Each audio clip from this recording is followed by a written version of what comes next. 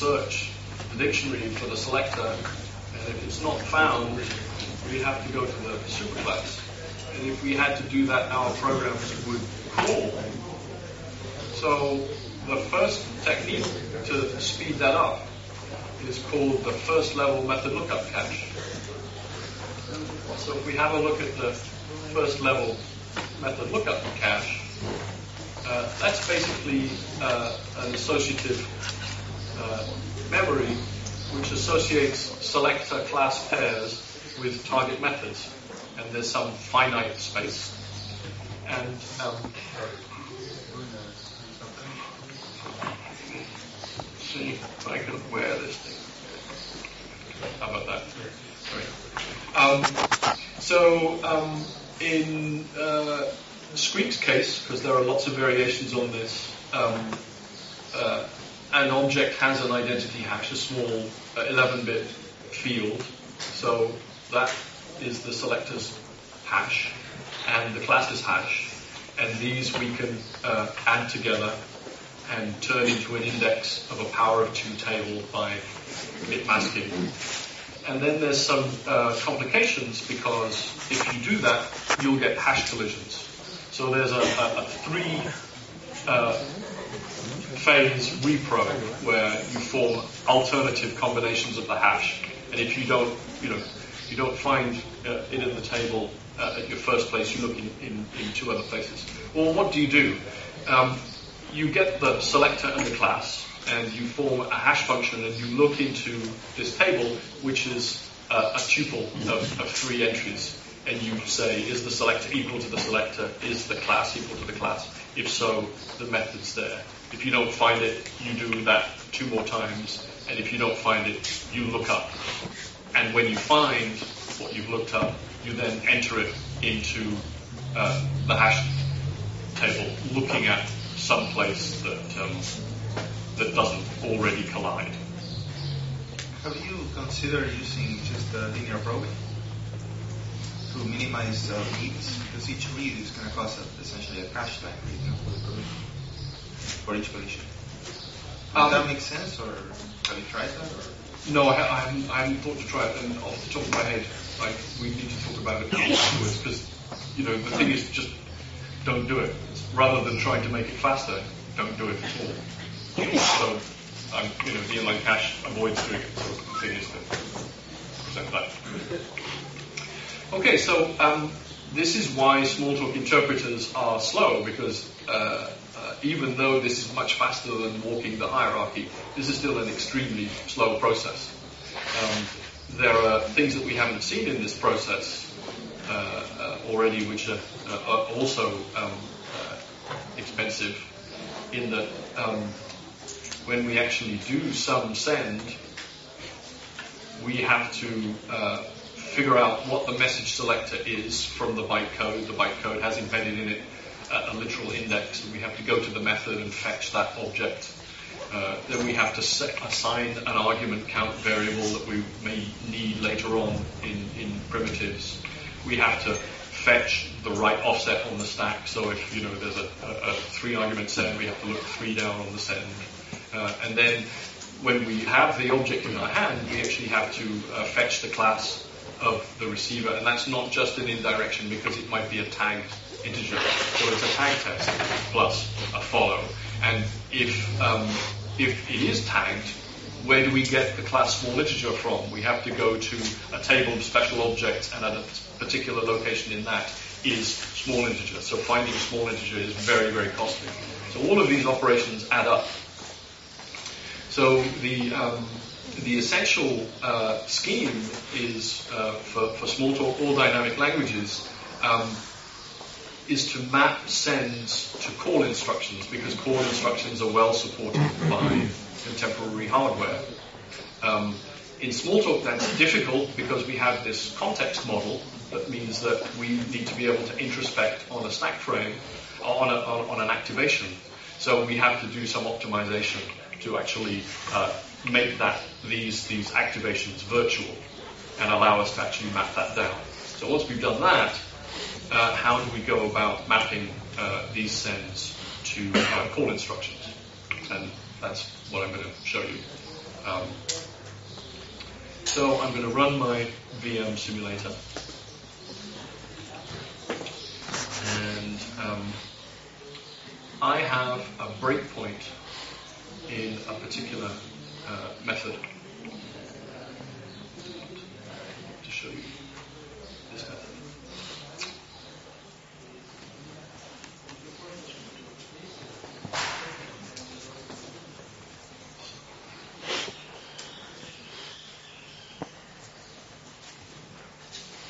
So this method happens to be object new, he says without looking.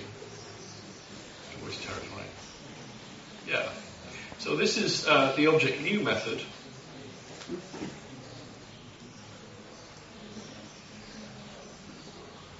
Uh, object class new, sorry. Uh, uh, let me use message names and not make a complete fool of myself.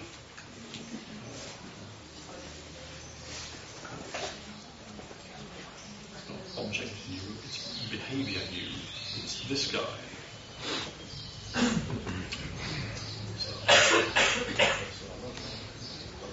So we're all familiar with that self basic new initialize and its bytecode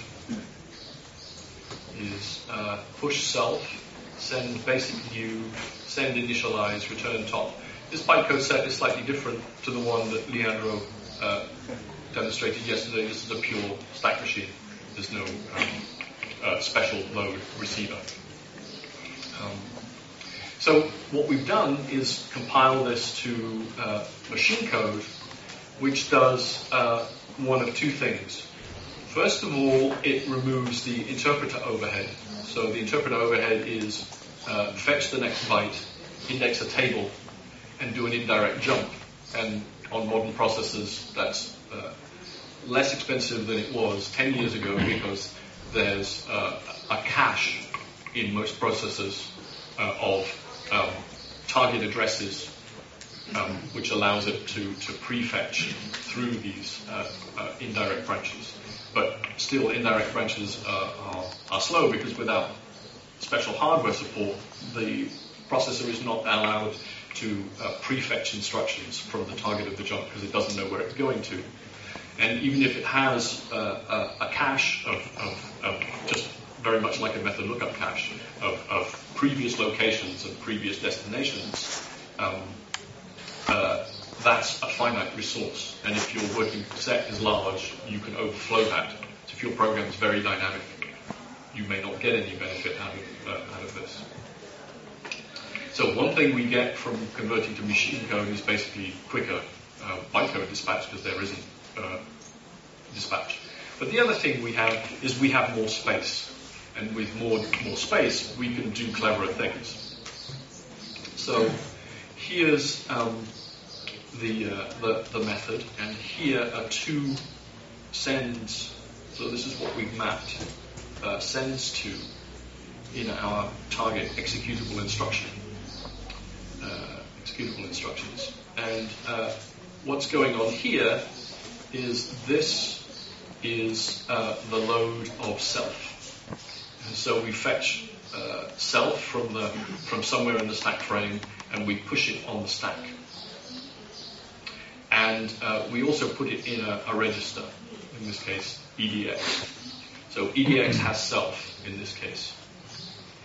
And then uh, the send itself is really these two instructions.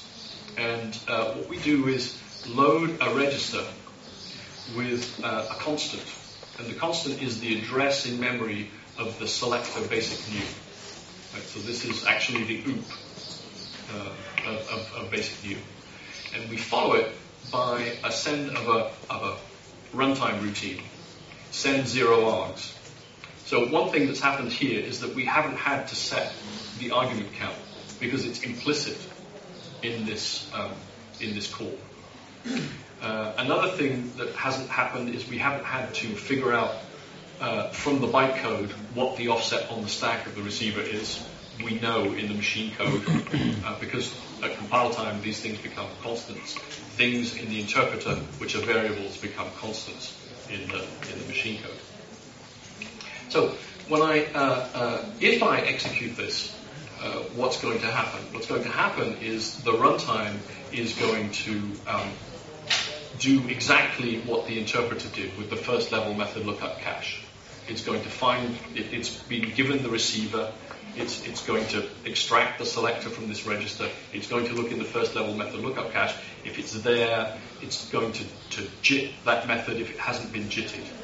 But if it has been JITted, what it's going to do is change these instructions. So what I'm going to do is uh, proceed. And now uh, I'm going to have a look at the same uh, machine code. So let's uh, uh, remember this.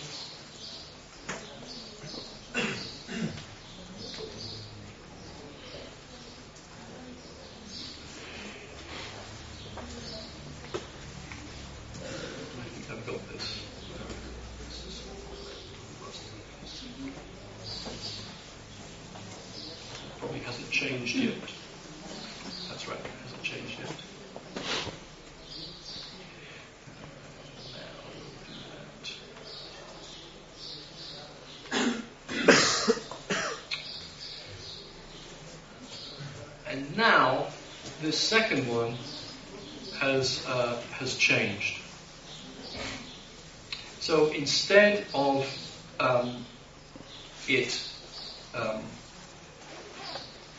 loading the selector into this register, it's loading this bit pattern 28. And instead of calling the runtime routine, it's actually calling uh, initialize at 32. So what's going on here? So this is actually a representation of the class of, um, of an object. Now in Squeak, uh, we have to deal with uh, three different forms. An object may be tagged if it's the integer, in which case the, the key in this variable would be uh, the tag pattern. Up to 32 objects can have a compact class, and there's an array uh, with up to 32 classes in it, and we save space by just storing the index into that table in the header of the object. So up to 32 classes of objects only need one word in memory for their, for their header. Uh, now in this case, uh, unfortunately, we've got one of these compact classes indices. It's much more satisfying when you see a, a full class, but we'll see full classes later on. And then the more general case is when you just have the OOP of the, of the class. So what happened here? Um, when we first sent the message, we found the class of the receiver at that time when we first sent the message. And we found some valid method that was valid for that class of receiver and that selector and we've changed it to call that method. So it's safe to continue executing that if the class doesn't change. Right? So what we need to do is verify when we execute this a lot, because this is software, things happen repetitively, has the class changed or not?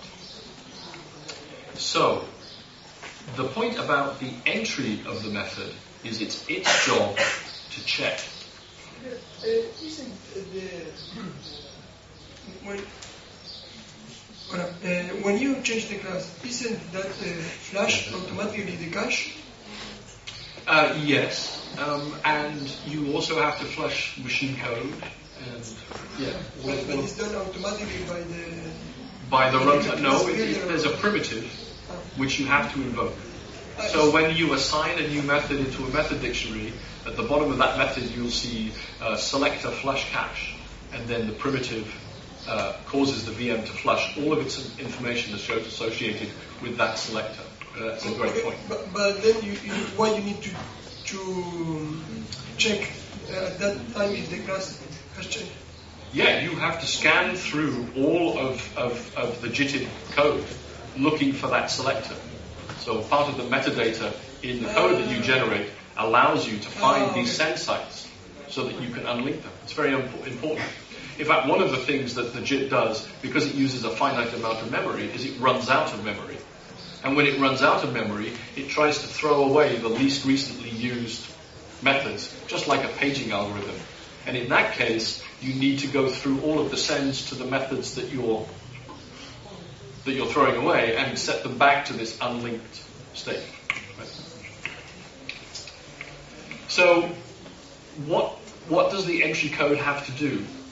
It grabs the, the current receiver. What's the receiver the next time we execute the method?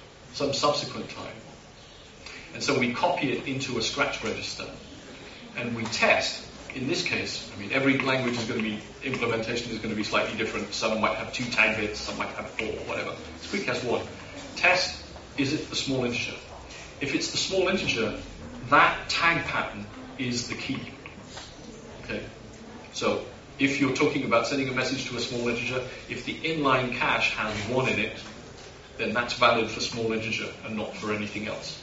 So now we jump, you know, we jump down to uh, to new 37 down here. Okay. So one thing we've done, we do the tag test, and you notice we had to do a tag test in the interpreter when we did the fetch class. Right, in the fetch class there was is it tagged, it's the small integer object. But here we're avoiding going to the table of objects to fetch small integer, because the tag that we use is the tag pattern. The next thing we have to do is we have to um, fetch the first word of the object, shift it and mask it with the compact class index field. So this has extracted the 5-bit field which can code for those uh, 32 special classes. And if that's non-zero, then that's the tag. So again, we avoid indirecting through the special object array to find the array of classes, which we then have to indirect to find the actual class. And if none of those is true, then we have to fetch a word which unfortunately doesn't just have the class in, it also has two tag bits. So we have to AND it. Now in VisualWorks, this is AND with three, because you've got immediate characters and small integers. If it's non-zero, jump. Otherwise, fetch the class word. So it's tiny. So this space optimization costs us on every procedure call. And I will kill it dead as soon as I can. But never mind. It's still way faster than what the interpreter did. Basically, what is the cost here? On a modern uh, processor, which is doing extensive uh, uh, prefetch, which has the speed of modern processors, we only stall at the read of the class. So essentially, most of these instructions are for free, whereas the interpreter was littered with reads. The second read is a negative offset. Will it cache it anyway? I think if you change the order, it might be. I'm not sure. Yeah, I mean, yeah. yeah. Um, um, uh, no, I mean this this is interesting, and, and you know you, you know you can you can do good uh, good anal- analysis and good engineering looking at those those, those trade-offs. And I haven't really uh, emphasized this because this is like the first stage. Let, us get it working. And you want to get rid of it. Yeah, and I want to get rid of it. So, so finally, all this comes down once we've extracted either the tag or the compact class or the actual class object, is we compare the value we've just computed against the value that was loaded as a constant load at the send site. And if those two match, we can continue. If they don't match, we jump back here and we call an abort routine. And then the runtime is going to look up the method anew. Now, when I came to um, ParcPlace and worked on the VisualWorks VM, uh, one of the things that happened in this inline checking was that the check did not check for small integers here it checked for small integers in the abort routine. The code looked like and with, with three, if it's non-zero, call the abort. Fetch the class if it matches. And in the abort routine, the abort routine would do the tag test. Uh, because nobody had the intuition that you could use the tag pattern as a valid thing. So when I, I implemented that, that was my first month's work at. Uh, one benchmark, Takeuchi, went an order of magnitude faster. An order of magnitude faster. And I went out and bought a new car. So that was great. Um, so then the next thing is what do you do when you get a miss? Well, if you look at the statistics, the vast majority of send sites, 90% of send sites do not miss. So the first engineering decision in that, in that VM was we will repatch the send site. Okay, so if you do get a miss in the 10% of sends where the send site is polymorphic, you look up, you find a new JITted method, you go back to the send site, you change the class to point to the current class, and you may have to change the method to, point to a new method because the method may not have changed, and then you continue execution. So if you look at a, an interpreter in, a, in a, a profiler, you'll see a huge peak in all of that inline cache, in that first level method lookup cache logic. It's where the bulk of the time is going. If you look in a, a VM that only has monomorphic inline caches, so-called monomorphic because it only has room for one class, you'll see a huge peak rebinding methods. So what's the reason for that? The reason for that is that processors are so fast at executing straight line code and so slow at doing all of this instruction space modification. They don't like instruction modification. They have to flush their caches, etc. That's an expensive operation. So what do we do? Um, the self team uh, in 91 said, if we get a miss, given that misses were becoming increasingly expensive, we should not rebind. We should create a jump table that can deal with more than one case. And so that's now a polymorphic inline cache. So let me proceed. And let me proceed twice.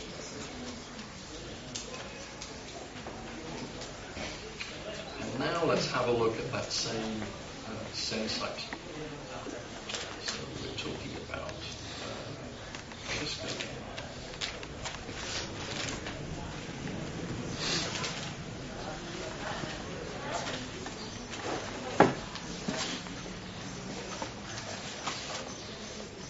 Oh no!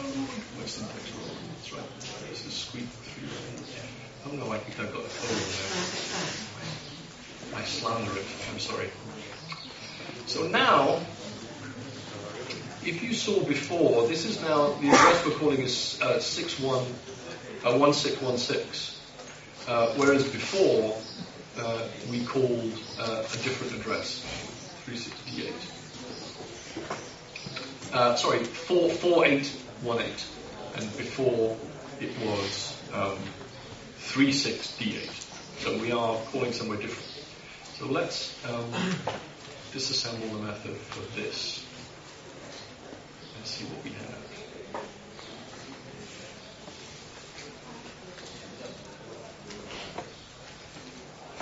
So we have a different kind of object in the header of the machine code. It says it's of type 4 and that's a um, I call them closed polymorphic inline caches because they have a closed set.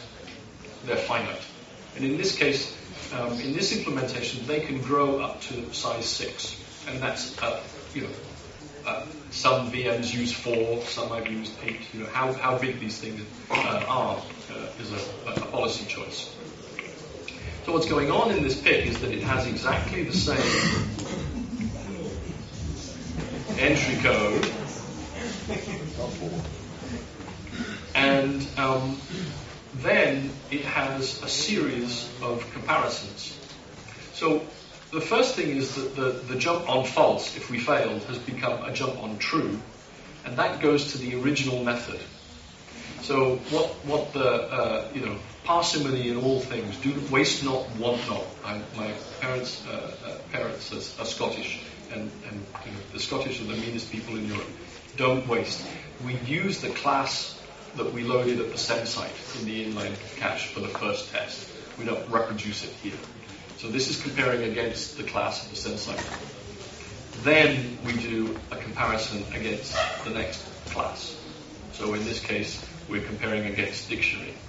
And we always jump to the same one because there's uh, typically uh, the initialized method, met, uh, method in object will be used. It may not necessarily. If somebody implements an initialized method in a subclass, we'll go there. We don't always go to the same place. It just happens in this initial example, all of these classes inherit the default object implementation. And that's something that's very common. And one thing that uh, you can observe, uh, maybe a negative pattern is the right way to implement this, is that, you know, if you had a, uh, a whole program analysis, you would um, have a jump table which looked at the exceptions. And then your base case would be to jump to the object one. But we don't do whole program analysis, so we can't take that approach. We can only deal with what we've encountered so far. Okay, so this thing is uh, an extensible jump table. And if we fall off the bottom of, of the jump table, we call another routine that says we've fallen off the end. And if there's room, with the current class, which we know is new, which is not one of these existing ones, we can extend that machine code until we run out of space. Mm-hmm.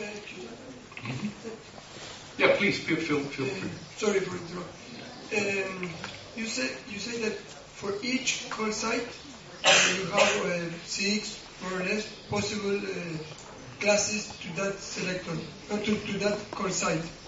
Uh, so I No, to that to that PIC. The, think what happened to the original call site. The original call site was a call to the runtime, yes, and then it became a call to a method.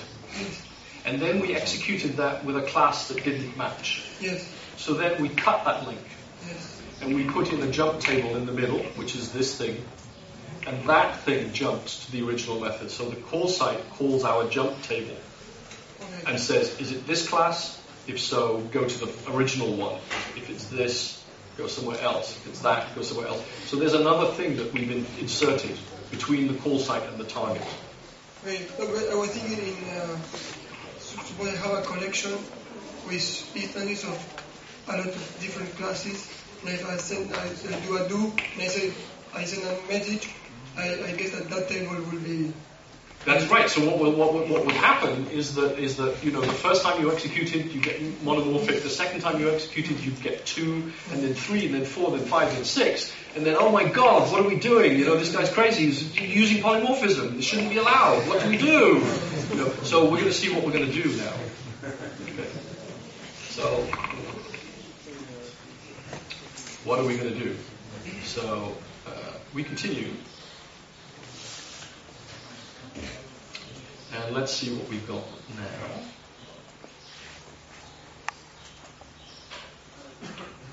Uh, we've still got that thing. Oh yeah. We'll just do this. Yeah, interesting.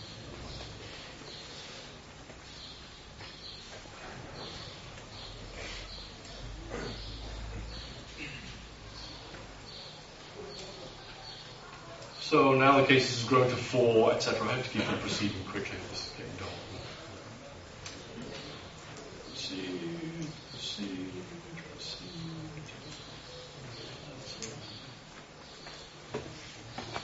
And now we got somewhere else. So now let's have a look at our uh, PIC one more time.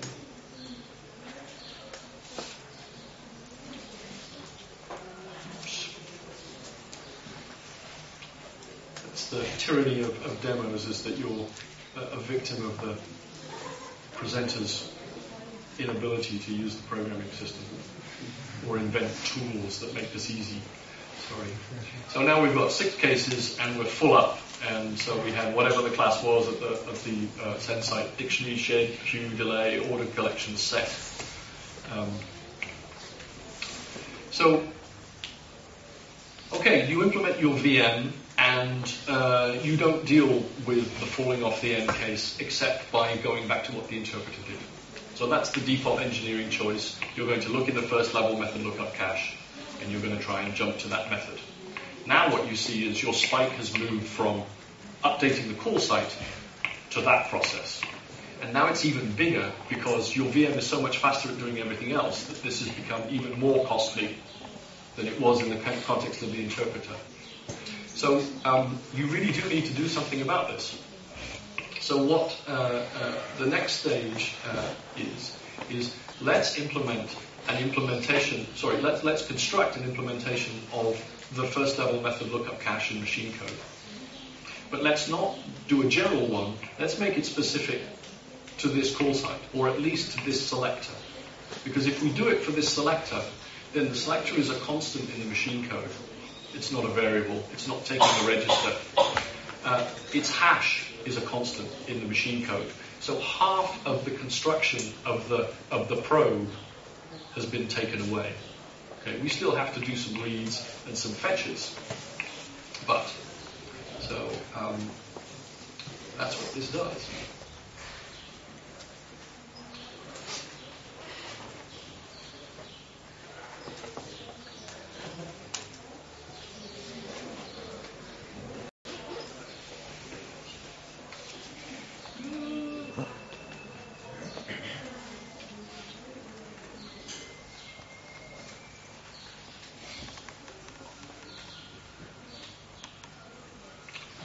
So now we've got a, a, fifth type, and I won't drag you through all of this, but this is an open PIC now because it deals with any number of classes. It's an open set. Uh, and it starts off with a similar prologue, but basically it is a machine code implementation of that first first level method lookup cache algorithm that you saw with the three locations. So um, what's going on in COG and in, in the VisualWorks VM is this evolution of the, the send site. So you start off with a send that isn't taken, and some uh, 70% of those in uh, a standard suite of benchmarks or in running the system uh, typically will, will convert into the monomorphic inline cache. And of those, only uh, about 100%, uh, about 9% get converted into polymorphic dispatches of degree six. So it's a very steep exponential uh, decline. A lot of twos, say half as many threes, and then it, really does tail off. Um, but still, this, this, these, these, this 1% of sends that are not uh, being uh, catered for by, by monomorphic and polymorphic uh, closed PICs uh, is, is, is, expensive enough that uh, you, you see the cost. And this remaining 1% is still um, source of, uh, of some cost. Now, there are some interesting things that you can do from here. One of the things that you can notice is that um, extending PICs is expensive. So, what's the likelihood, if I extend a PIC, of it evolving into an open PIC? Well, it turns out it depends on the selector quite often. So certain selectors, such as initialize, are very likely to be associated with uh, megamorphic call sites. So it can be profitable to maintain the set of open PICs that you've generated so far in a list.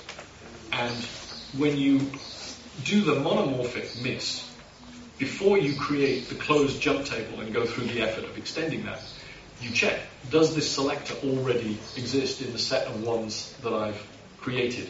And you, and you link to that. And that can uh, save you uh, some time. And in about, uh, I think, 70, 80% of cases, that's, that's the right choice. And so open PICs are slightly slower than, than, than, than uh, closed PICs, but that, that's a win. There's a more interesting thing that you can notice, and that is uh, and I call this the, the, the, tragedy of PIC proportions. And that is that um, your VM has cleverly optimized all of the easy to optimize message cells. Because all of these megamorphic methods, they're at the root of the hierarchy, and they take the longest effort to look up as you as you walk. Five minutes. Yeah, that's great. Um, because if you think of, of uh, uh, you know, initialize there and, and, and, and Boolean and, and, and, true and false, if we were to send initialize, what do we do? We, we find false uh, in its method dictionary and look in it, it's not there. And then we go up to Boolean and we look in its method dictionary and it's not there. And then we go up to, to behavior, to object effectively, and, and, we, and we find it.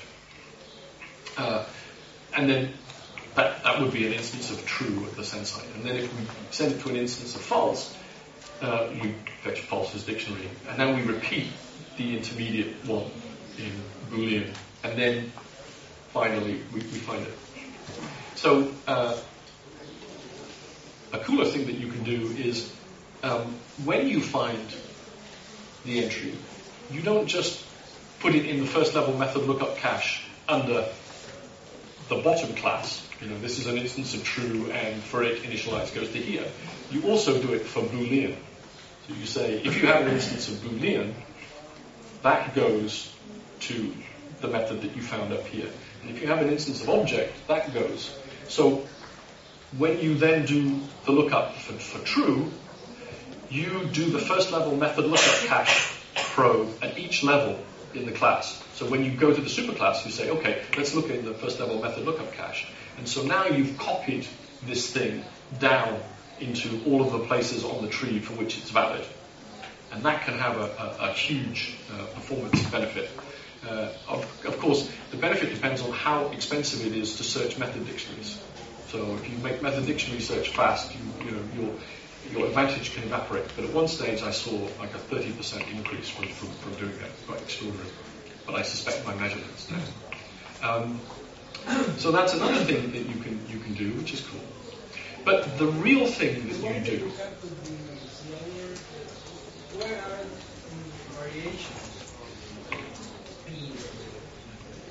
So, so yeah, because of because of the hash, because of reading, because of, of, of hitting some uh, unexpected object or new class, you know, having to fault in objects into the memory hierarchy, because of, of um, uh, the, the, the, cost of, of, of search, uh, you know, all of those all of those reads, um, uh, fetching object hashes and, and, and, the like. It's just you know expensive. But the real thing that you can do with this is the observation that the original uh, Self team made in 91 when they implemented PICs is that, okay, megamorphic sends are difficult to deal with, but what's happening with the, uh, the polymorphic sends is that the runtime is collecting runtime type information as we continue. So what this program does is by optimizing it itself, record for each taken send site what are the sets of classes of receiver type and their target methods. And that's valid for 99% of executed sends. It's only 1% of our sends that, that, that fall outside of this pattern, which is great. So what happens in those VMs is we find some way of stopping execution when the program is doing something busy. Uh, which could be a counter when you invoke a method, or it could be a counter on conditional branches. And then uh, effectively you get uh, a, a, stop, the system stops running. It can analyze the call stack, examine uh, some number of methods, some number of methods deep, look at the type information in this program, and construct some super method which inlines and eliminates all of these calls. That code is only valid if the classes don't change. So around each basic block, we have to establish checking code. We have to write checking code that says, you can only enter this basic block if this variable is of these classes and that variable is of those classes. And if you get a violation, you can uh, de-optimize, go back to the original code. Uh, but if uh, but if not, um, this super method is now much bigger. It completely eliminates uh, this dispatch. There's no checking. Uh, we can flatten common code, uh, uh eliminate lots of the, of the, boilerplate, and finally make this code uh, large enough that we can profit from aggressive optimizations of the kind that you'd see in a C compiler. So that's the architecture that you see in current Java VMs that you saw in the, the Strongtalk VM which will be a part of, of Gilad's talk uh, tomorrow. Um, and remains to be work that Marcus and I are anxious to do uh, in, uh, in COG.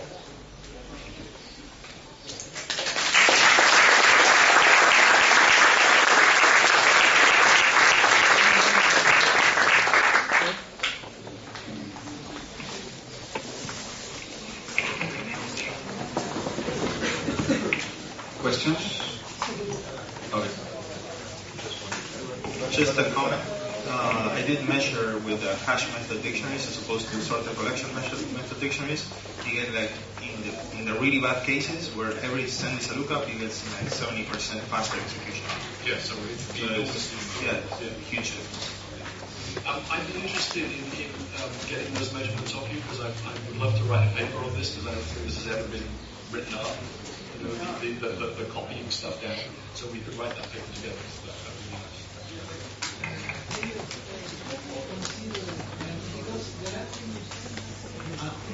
Last uh, optimization you described, uh, I don't know how the case in Strongtalk, but uh, on itself, is that type feedback information that the virtual machine is collecting available to the smarter programmer?